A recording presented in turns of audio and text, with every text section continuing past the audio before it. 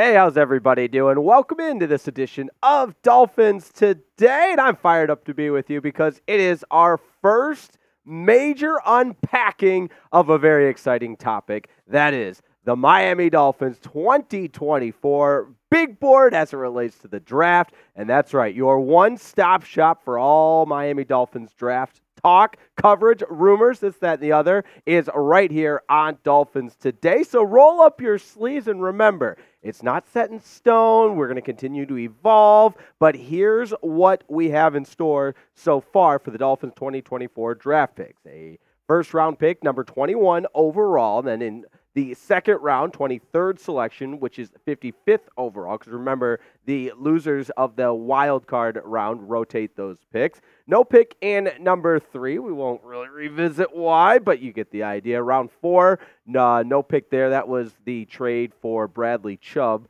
in over to Denver. Then round five, back to that 23rd selection, which is the 156th pick overall. And in round six, there's both the eighth, 22nd and the 22nd pick. Remember, that was from a trade. And then one pick in the seventh round, or two picks, I beg your pardon, with the 21st. That's 238 overall and six picks in total. So, with that said, it's important to remember that all of your draft coverage can be found right here on Dolphins Today, and that is why you subscribe. Now, listen, a lot of channels will stop doing content uh, when the season ends. Not us. And my friends, like I mentioned earlier, had some meetings with the bosses and they said, listen up, Riepma, you know, you know you're doing Dolphins content each and every day, but we might have to make the channel private. So make sure you subscribe to the channel because I don't want you to miss a single thing that we talk about. Because, like I said, that draft conversation can be a roller coaster and we could be trading picks,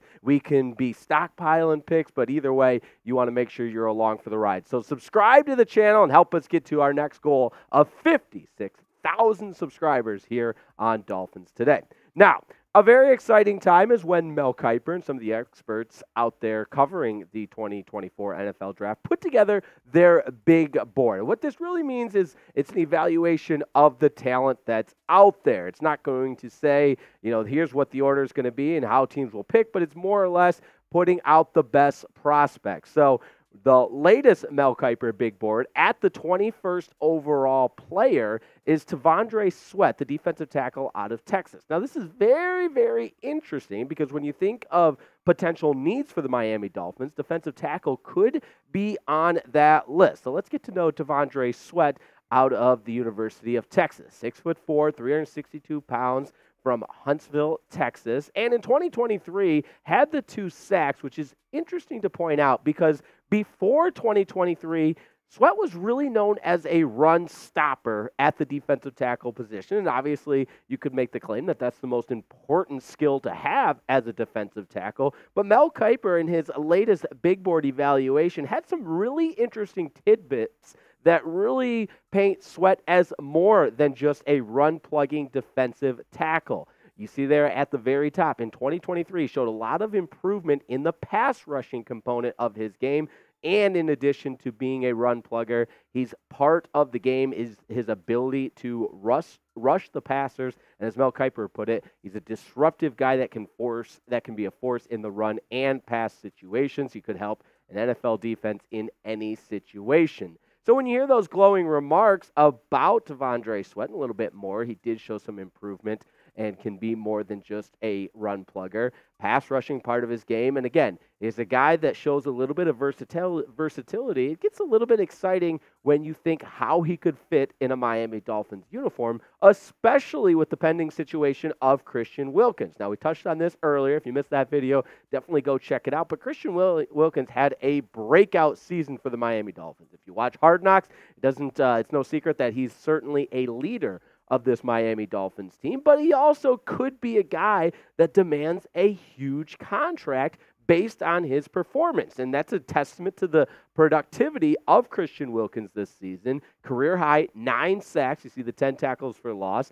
And it might be a guy that demands elite defensive tackle type money. So, looking at what the market has bared the last couple of years. You look at a guy like Javon Hargrave, who's even older than Christian Wilkins. He got four years, 81 million from San Francisco. And again, he's a little bit older than Christian Wilkins, who's 28 years old. Quinnen Williams, four year, 96 million, a little bit younger than Christian Wilkins for the New York Jets. So maybe Wilkins fits somewhere in between there. Again, we're just speculating here, but it's worth noting with the Dolphins in what many would call cap space hell, maybe Christian Wilkins is not the guy you deal out to a huge contract to, and instead you try to replace him with a little bit more friendly option for the team in the books by drafting a talented defensive tackle like T'Vondre Sweat. So, a lot to consider, and there's certainly no wrong answer, but I do want to hear from you. Do you like the idea of drafting a defensive tackle in the first round? It's real simple. Type Y for yes or N for no. And again, this would be, in a lot of senses, you'd have to imagine it'd be to replace Christian Wilkins because of the amount of money that he's due. But again, no wrong answer. Let me know in the comments. Coming up, we've got more first round draft prospects to evaluate for the Miami Dolphins pick at 21. But first, I want to tell you about today's presenting sponsor, Fired Up, to tell you all about America's number one meal delivery service, factor. And what do we know? Of course, we're into the new year in 2024, and you're probably making wise decisions and you're following through on your resolution. But let me just make it a little bit easier for you with the convenience of Factor. These are fresh, never frozen, dietitian approved meals that are delicious and they're delivered straight to your door. I'm telling you, it's a win, win, win all the way around. You say goodbye to annoying tasks like grocery shopping, doing the dishes, meal prepping. You don't have to buy 600 you know, containers to put your meals in. No, forget about that. Factor meals are delivered straight to your door. They only take two minutes to heat up. And most importantly, they are delicious and nutritious. And there's a ton of variety 35 meals to choose from per week. And that include options like keto, calorie smart, vegan, veggie, and so much more. And you can't forget about the 55 weekly add ons. You'll have a ton of nutritious and flavorful options to kickstart those resolutions. Take it from me, the smoothies should not be slept on. They are delicious, especially if you're on the go. Maybe you walk to work, grab a smoothie on the go. It's one of my favorite and kind of underrated parts about Factor. Of course, the meals are delicious as well. You guys know I love the Chipotle pork chop. So head to factormeals.com slash PHINSCHAT50 and use code PHINSCHAT50 to get 50% off. I'm not even kidding you. We're giving you 50% off because we love you and we care about you. That's code PHINSCHAT50 at factormeals.com slash PHINSCHAT50 to get 50% off. And don't forget, we put that link right in the description of today's video as well as the comments. So no excuse. You'll thank me later. Factormeals.com slash PHINSCHAT50 for 50% off. All right, I want to give you a couple other first round ideas I have for the Miami Dolphins, and I do believe we're in the idea generating uh, process as far as the timeline goes because obviously there's still NFL playoff football going on. The combine hasn't happened yet. We'll continue to evolve these ideas, but the offensive line certainly could use some depth. When you think about the musical chairs that were going on just to find healthy bodies throughout this season, that really could be the only answer you need to say. Why are we looking at offensive linemen? Because we need them. Jackson Powers Johnson, a guy who plays for Oregon, one of the more athletic prospects in this draft. And you see it on the screen there, arguably the best interior blocker for this year's draft class. And you think about where he could fit in with the Miami Dolphins, big question mark at center with Connor Williams tearing his ACL. You got Rob Hunt as a pending free agent. There's a lot of question marks on the Miami Dolphins offensive line. Throw in Kendall Lamm. The list goes on. So, shoring up the offensive line with a guy like Jackson Powers Johnson makes a lot of sense to me, especially when you consider that Jackson Powers Johnson's coming from a big name program like Oregon, played for Dan Lanning and the Ducks, and they had a heck of a season, a great offense. He was protecting Bo Nix, who is one of the most prolific passers all season long. And you could really make the case that Jackson Powers Johnson makes a lot of sense if he's around at 21. Now, some other potential picks to keep your eye on. Staying on the offensive line, Amarius Mims out of Georgia. Not a ton of experience, actually, only eight starts in a Georgia Bulldog uniform, but with his physical nature and the size and stature at the tackle position, he's somebody to keep an eye on if he were to fall to 21.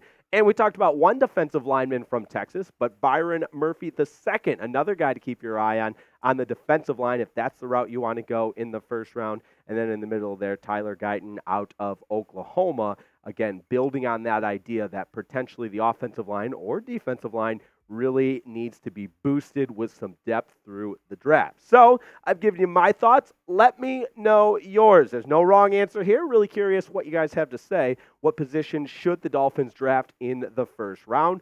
Let me know in the comments. Now, I'm going to get a little bit crazy and wild, and don't everybody come at me on the keyboard. Listen, we're just in the idea generation phase of all this. So I had a little time today, so we got a little bit wild.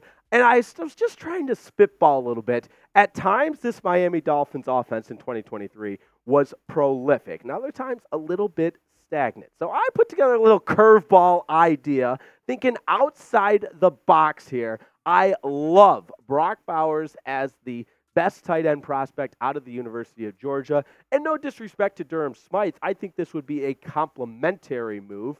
And listen, I know what the comments are going to say. We need offensive linemen. We need defensive linemen. This is a luxury pick. And I agree with all that. However, if you want to get bold and trade up for a guy like Brock Bowers, who at times could provide what this Miami Dolphins offense was missing, that missing piece. Durham Smythe, again, no disrespect, but the tight end out of Notre Dame was the third leading receiver for this Dolphins team, but had less than 400 yards receiving when you compare that to what Jaylen Waddle had with over 1,000, and of course, with Tyreek Hill well over 1,000, leading the NFL in receiving yards. And if you have a incredibly athletic tight end like Brock Bowers, it adds such another element to any offense, given the offensive creativity that both Mike McDaniel and Frank Smith for now are able to utilize a guy like Brock Bowers. I could see him just being a superstar. And I do think in today's NFL, the tight end's only going to become more and more increasingly important to any prolific offense. So you look at this tight end depth chart right now. Durham Smythe, as I mentioned, was the team's third leading receiver, but there was such a huge jump from one and two with both Waddle and Hill being over 1,000 yards, down to Durham Smythe, who was less than 400 yards receiving. Julian Hill, totally a blocking tight end, no disrespect to him. And Tyler Kroft was a healthy scratch all down the stretch. So, again, this is kind of wild, and you don't have to love it, but he's rated the eighth best prospect. Several mock drafts have him going to number five, at number five, to the Los Angeles Chargers. Now, we know the Chargers looking for a head coach. They've got all kinds of issues over there in Los Angeles. Maybe Jim Harbaugh is going to be the next coach of the Chargers. Who really knows? So, with that said, what if we get wild and offer the Chargers quite the trade in exchange for that fifth overall pick? Miami gets the fifth overall pick. And again, I admit you're mortgaging a lot, you're mortgaging the future, but trade that 21st overall pick as well as the 55th overall pick, which would be the Dolphins' second round pick. And then, oh, yeah, in 2025, give them the second round pick. So I get it. It's a lot. But imagine this offense with Brock Bowers, a playmaking tight end, an elite tight end with the athleticism, split him out in the slot. Look how much he could do. I could see him setting records for tight ends at that position in Mike McDaniel's offense. So, let me know what you think of the trade idea to move up to number five, which is where I think Brock Bowers is right now about to go in that top five area. Grade my trade proposal A, B, C, D, or F. Let me know down in the comments. And hey, if I lost you, be honest. But if you love it, I'll take some credit as well. Otherwise, you're probably going to say, Riepma, you're crazy. They'll never do it. And I'm not saying they'll do it. But again, we're in the idea formulation time period of this big board draft talk. But, anyways, I always love talking about the Miami Dolphins and what they could potentially do around the 2024 NFL draft. All of the rumors, all of the breaking news, every single angle of the Aqua and Orange, we've got you covered. And that is why you subscribe. And again, the bosses here at Chat Sports said we need to build this channel. I know the Dolphins fans are the realest of the reals. So if you like what you saw today, we do this every single day. Dolphins content on the daily, plus coverage of breaking news. And oh, yeah, our live shows are still going during the off season. So make sure you subscribe. Doesn't cost you anything, and I'll do you one better. If you subscribe and you don't love the channel, unsubscribe. Maybe it'll break my heart, but you know what? You owe it to yourself for the best Dolphins content on the internet. That's what we strive to bring you here at Dolphins Today. Want to thank Jack Lauderay and the ones and twos helping make today's show possible. And until next time, we will see you. Have Dolphins Today.